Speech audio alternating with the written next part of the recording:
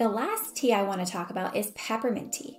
Now, peppermint oil that's found in tea leaves have compounds that help combat pain, and they also help promote smooth muscle relaxation in the body.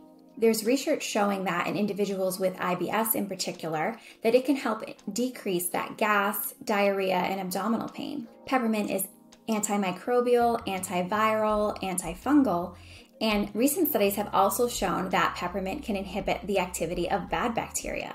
I did want to mention that peppermint isn't for everyone. We do not recommend that anybody that has GERD or reflux or a hiatal hernia take peppermint because it can make those symptoms worse.